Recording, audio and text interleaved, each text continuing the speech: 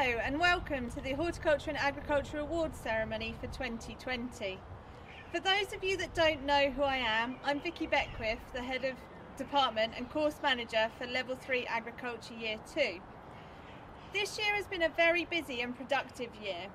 Horticulture students have worked well to renovate many areas across the estate, with funds from the Lewis Bayliss Trust and the South of England Agricultural Society who were, we were able to re-fence and renovate the vegetable plot and create a soft fruit growing area.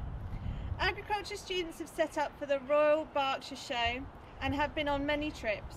Tractor Week was a highlight which occurred at the end of February and saw tractors and drivers join us from Shorts Group Limited, J. Rayner and Sons Limited, Lister Wilder Agriculture, J&S Whitby and T and R Rayner and Sons.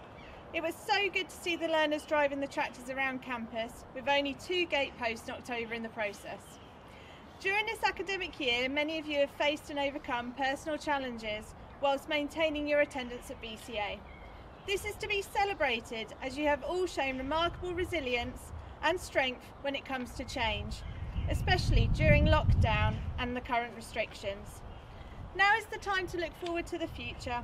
I understand that this may seem scary and uncertain at the moment, but just remember that nothing lasts forever. You are stronger than you know. You will get through this. In a world where you can be anything, be kind. We would like to congratulate you all for completing your courses and wish you all the best for the future.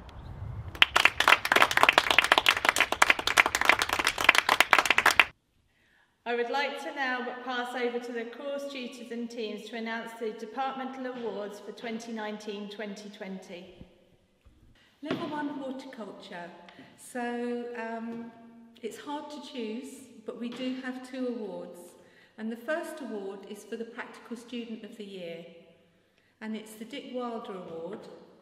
And this student has shown remarkable resilience this year beginning with a challenging start to the course where theory work and punctuality seemed insurmountable and improbable. Good working relations with staff appeared unlikely, and any completion remained inapparent. However, sometimes things are not what they initially seem. Through steady progress and determination, this student has demonstrated a strong work ethic during practical tasks diligent application to study and a strong sense of humour while accepting and appreciating support from staff to gain a good outcome for the future. Congratulations, the Dick Wilder Award goes to Kane Sumner Hare. So now we come to the Cross College Awards and these are fiercely contested. So this again is for the best practical student in horticulture. It's the David Penny Award and it goes to a student whose reliable character and steady progress through the programme has been an inspiration to us all. Always giving the best of himself and demonstrating an increased skill base in all aspects of practical horticulture while exceeding expectations in theory. Despite several IT issues, this student has coped brilliantly with remote learning and shown great resistance in conquering difficulty and also encouraging others. Congratulations, the David Penny Award goes to Charlie Bolton. And these are the Cross College Awards for Horticulture for the Level 2.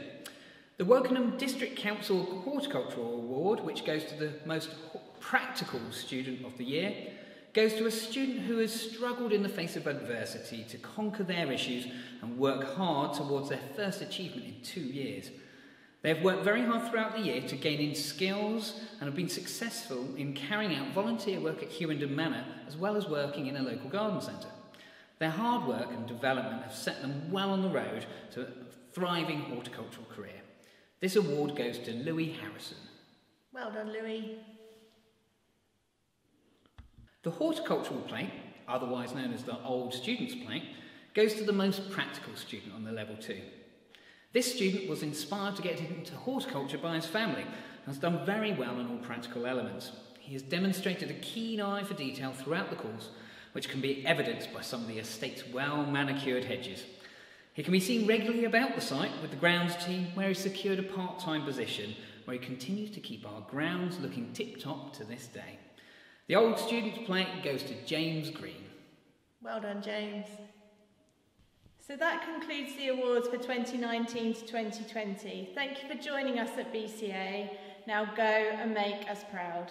Thank you.